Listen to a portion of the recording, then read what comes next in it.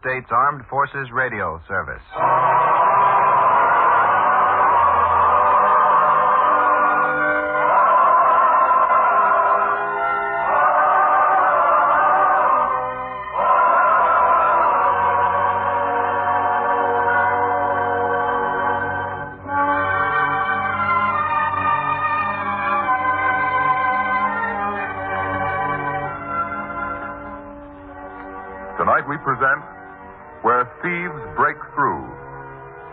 Based on a teaching from the greatest life ever lived.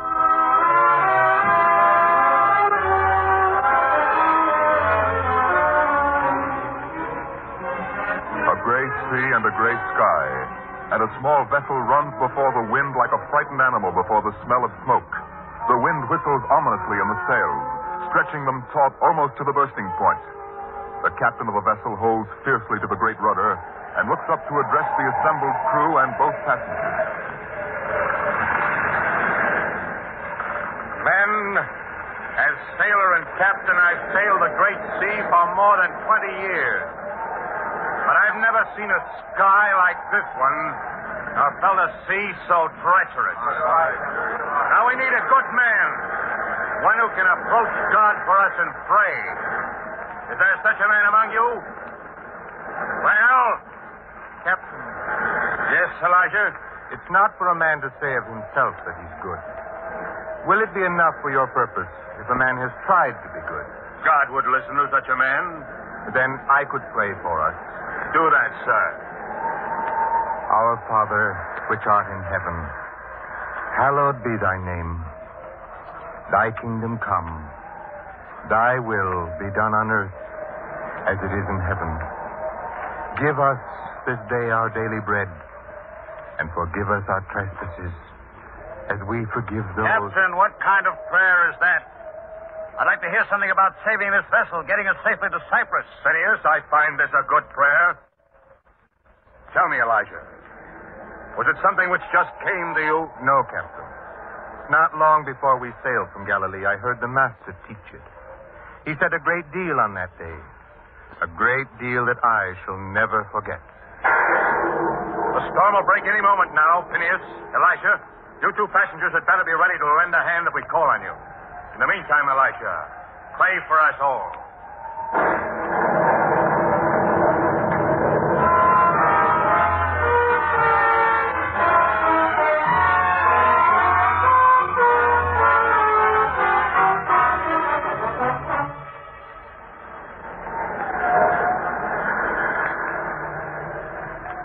Getting worse all the time, Elisha. We'll never come through. Elisha, I'm speaking to you. Oh, I'm sorry. I was thinking of some of the things I heard the Master say. They seem to comfort a man at a time like this. They do, eh? Tell me, what made you take this journey? Matters of business? You seem to be a man who could afford to hire someone to take such a risky journey as this. In most matters, I send others. But where so much is involved, I had to go myself. You're, uh, carrying that much gold? What? How did you know I carry gold? Well, I presume that's what would be so important to make you go on this mission by yourself, that's all. I see. And what makes you take this journey, Phineas? May I ask that? The same thing. You carry gold, too? No. But there are certain things a man must do for himself and by himself. But now, hadn't you better get your gold from its hiding place? After all, it would be a pity for so much gold to be at the bottom of the sea. Perhaps you're right. Maybe I could help you. I don't think I'll need any help, thank you. All right. Have it your own way. You two, you passengers, be ready for the worst now. The sails are gone. I can hear you, Captain, but Elisha's gone to get something. And I'm going to help him.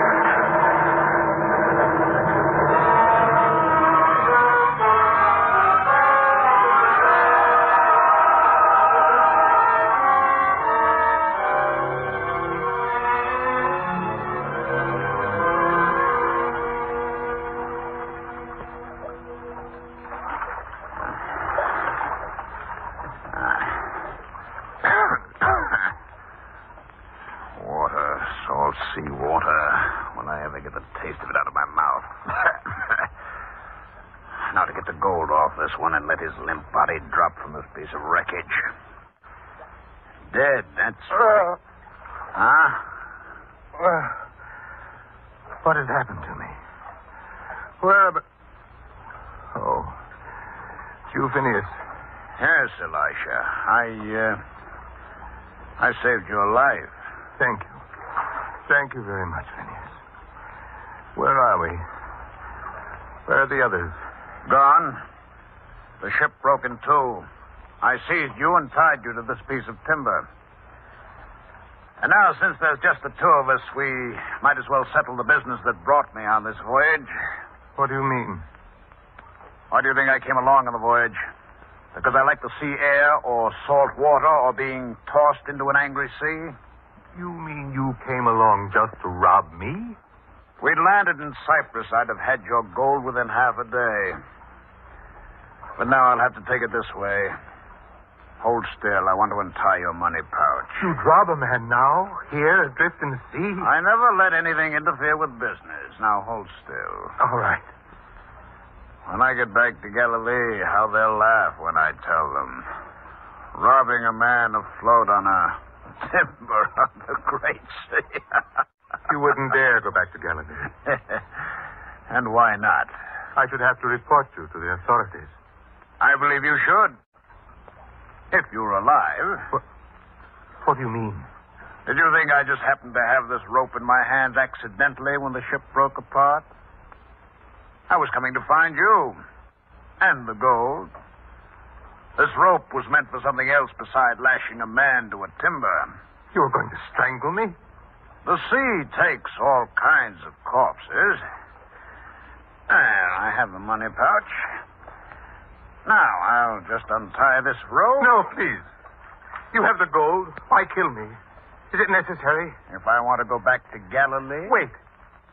If I promise not to return to Galilee, if I promise never to try to find you, would you let me live then? I don't know if I can believe you. I give you my word. Besides, neither of us knows if we'll ever reach land safely.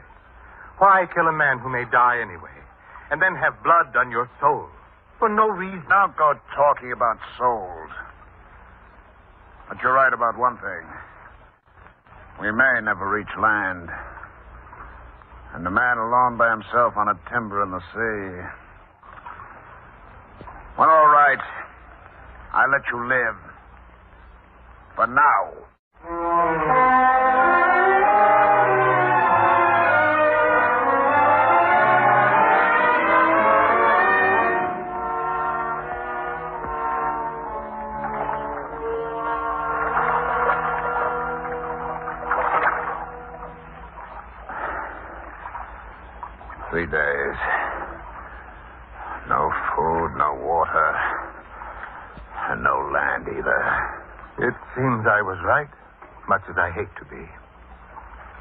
Neither of us shall reach land.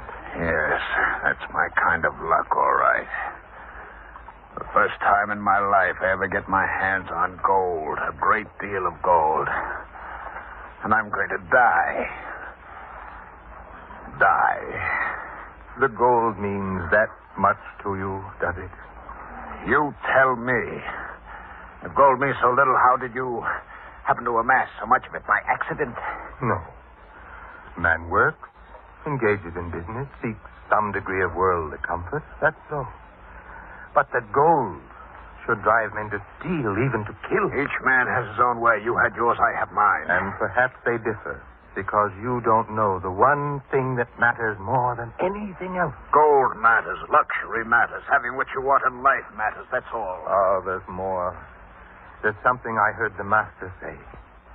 You spoke that prayer you said on the ship? Yes. And on the same day, I heard him speak the prayer. He said many other things, too. It was a fair day. That was good. For so many had gathered to hear him.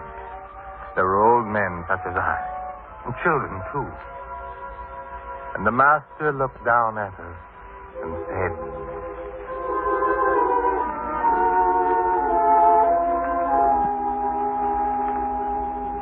Lay not up for yourselves treasures upon earth, where moth and rust doth corrupt, and where thieves break through and steal. But lay up for yourselves treasures in heaven, where neither moth nor rust doth corrupt, and where thieves do not break through nor steal. For where your treasure is, there will your heart be also.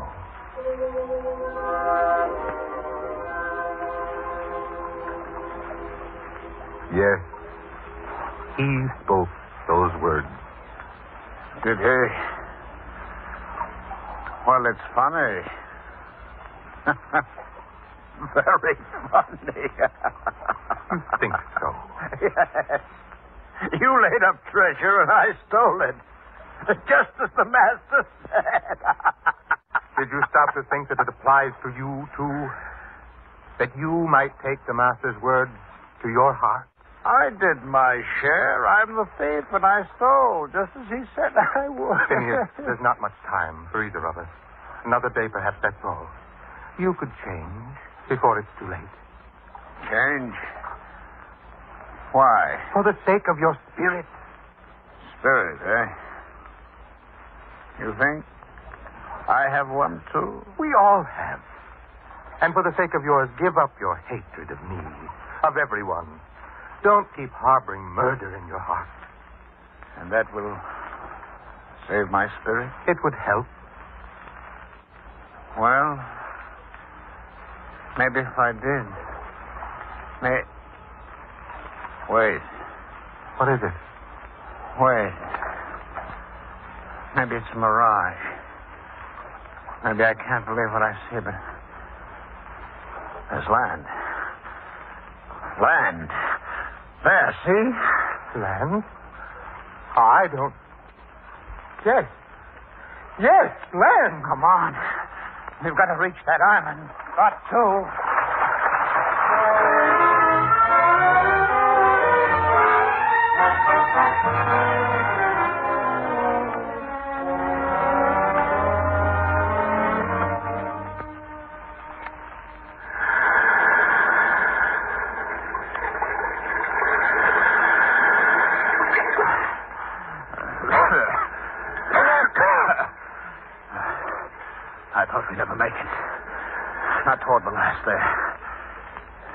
Slipped, I I couldn't get up till you till you gave me a hand.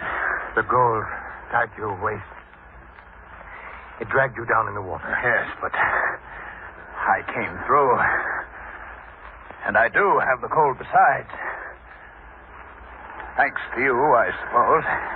I couldn't let you drown. Now, Phineas, perhaps you can understand in a small way what the Master meant when he said, Where your treasure is, there is your heart also. You risked your life for the gold, and it almost killed you. Look, you.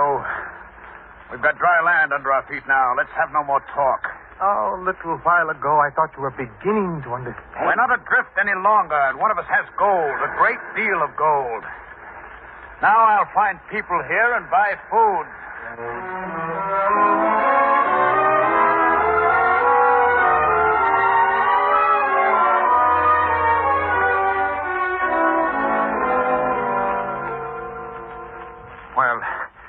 Least water. Nothing else on this God-forsaken island. God forsaken? There's water here, Phineas. God placed it here. But what else? A few trees that don't bear fruit, a brook, and a shore covered with seashells. There's no one on this island, no one. No food to buy. Not even any to catch. I've seen no animals, no birds. No. There seems to be us and the trees and the gold. And the gold's no good now. Well, I won't give up. I'll eat grass, herbs, roots, anything, but I'll stay alive. And I'll get off this island, too.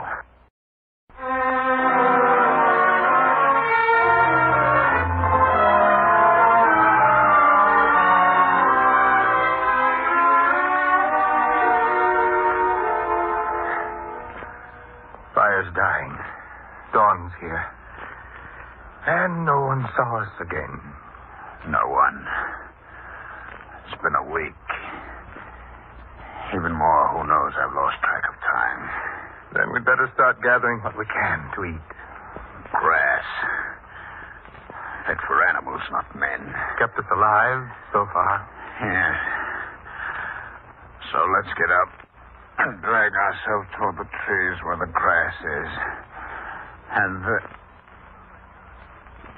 Elisha, What is it, Phineas? get up. What's the matter? Just get up. There. Now, look across the island to the other shore. There. Oh, yes. But, uh... Sail them ashore. A boat for the sail. I wanted you to see it. And say it before I said a word. I thought maybe I was going out of my mind.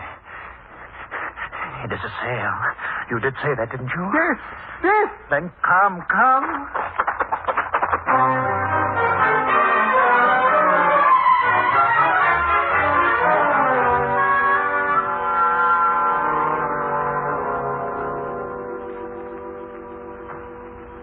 You see him too, don't you? Yes.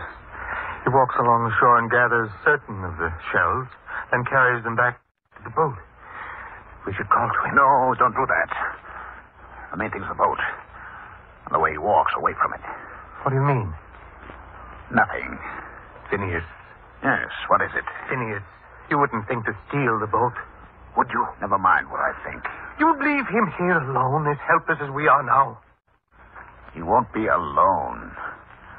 You mean I know you promised never to return to Galilee, never to tell the authorities, but I don't trust you, Elisha. I don't trust anyone. That boat means freedom to me. Because it's so small, it means we're closer to the mainland than I thought. And that boat's going to take me there alone. Wait, Phineas. Wait, nothing. I'm going to run for it. Phineas? Phineas, don't do it. Don't. Look, the man's seen you. He's running toward the boat. He won't stop me. He's not big enough. Wait. What are you doing here on this island? Stand where you are. I want that boat. And I'll kill to get it. No, you can't. You can't leave me here. You can't do it. Phineas, no. Don't strike him. Phineas, no!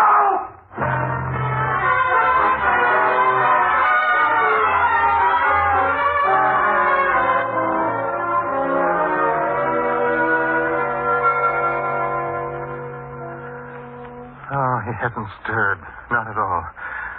Friend. Friend, can you hear me? You. You won't hit me again, will you? No. No one will hurt, hit you. Don't be afraid. Eh? Eh, you're not the one who struck me, are you? No, I'm not. Uh, uh, that hurts badly. I know. Uh, He hit you not once, but several times. He wanted to get the boat, to get away from here.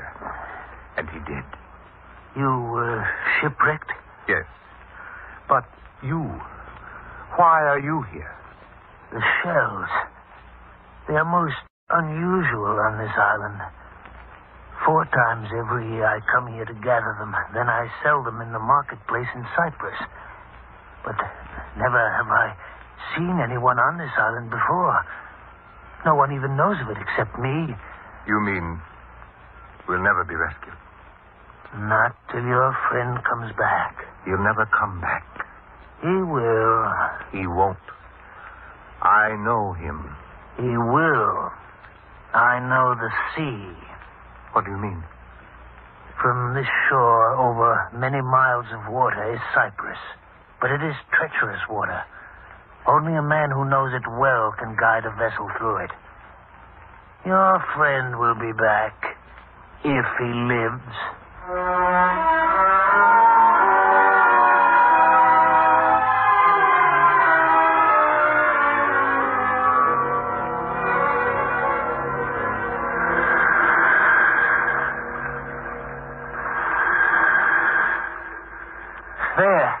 You see, Elisha, I told you the tide has carried the vessel back. But I don't see Phineas. Look, extending over the side of my boat is a man's hand. Your friend is in the boat, exhausted, perhaps even dead, but he's there. Phineas! Phineas! The hand moves now. He's setting up now. Phineas! This island. This same cursed island again. No! No!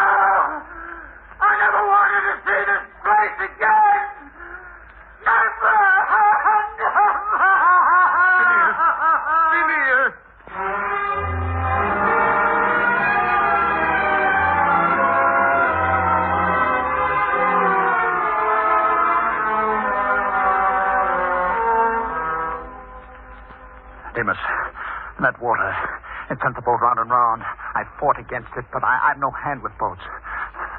Finally, I was exhausted. I, I just laid down and let it drift. And the next morning, you were back here. Yes.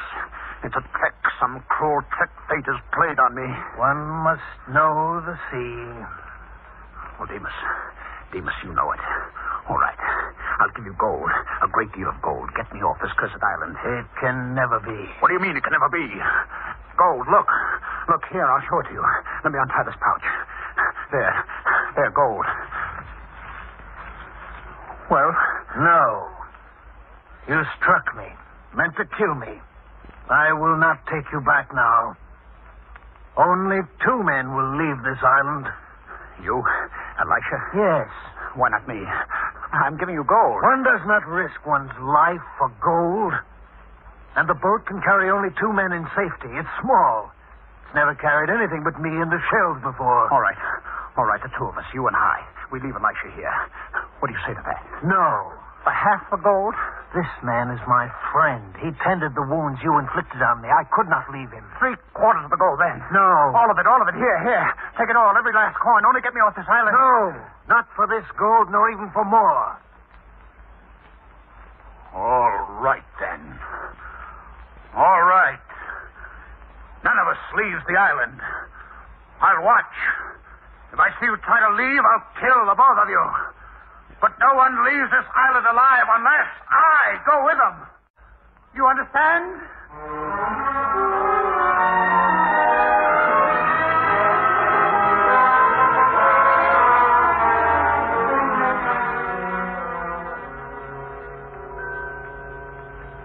Elisha, he has not stirred. Not for quite a time now. Then he must finally be asleep. Two days, the way he watched us, guarded us. We could sleep, but not he. And now it's too much for him. He sleeps at last. He's exhausted. Wait. It may be a trick. I must make sure. I'll nudge him. Eh. He didn't move. Didn't move at all. He is asleep. This is the moment I've been waiting for. The boat on the shore. Phineas asleep. That means escape. Escape. Follow me. Elisha, why do you wait? Why don't you come with me? Our time is short. Our opportunity is now. Come. Demas, you go. But you, I can't leave you here. If you go now, you go alone. I can't leave him. Can't leave any man to die. But I told you it's too dangerous with three men. Besides, why should you think of him? He's a thief, a murderer, if need be. I couldn't do many men to death here, alone, deserted. I couldn't do that and face the master again. If you don't come with me now, you may never have the chance again. I know. Still, I can't desert him. You must understand. Deep inside you, there is the same spirit. Else, why didn't you take his gold and leave me? Because you're my friend. He can be your friend, too. Our friend. The boat is not built for three men. The water's treacherous. I cannot leave him. You really won't leave him, will you? No, Demas. I see. Well, then I must take the risk with you. All right, we'll wake him. We'll try to make it with him, the three of us. And trust to God to bring us through to safety.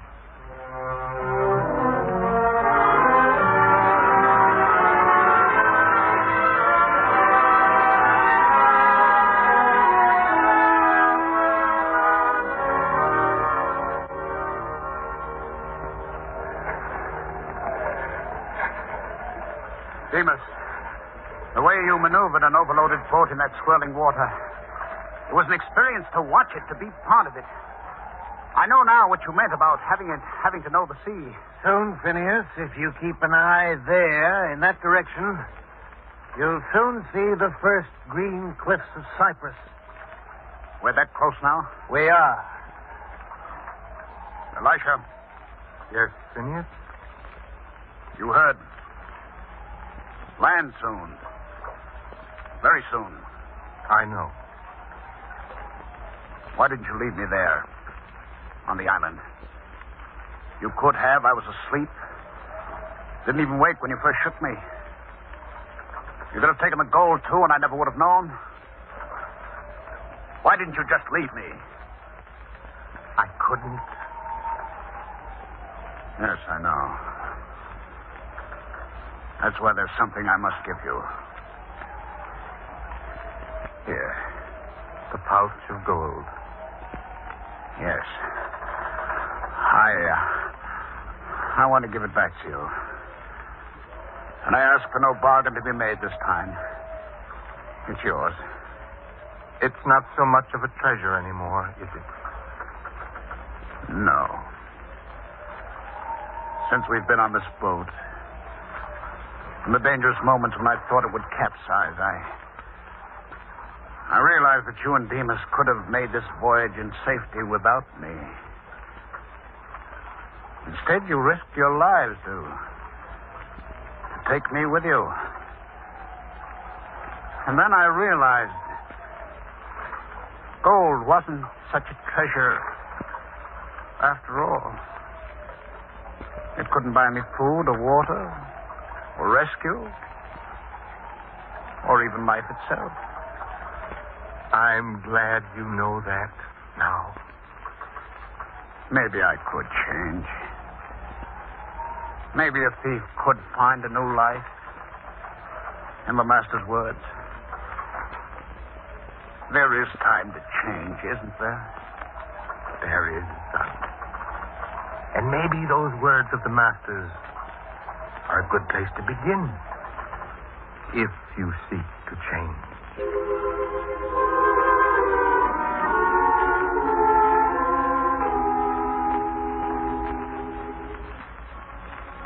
up for yourselves treasures in heaven, where neither moth nor rust doth corrupt, and where thieves do not break through nor steal. For where your treasure is, there will your heart be.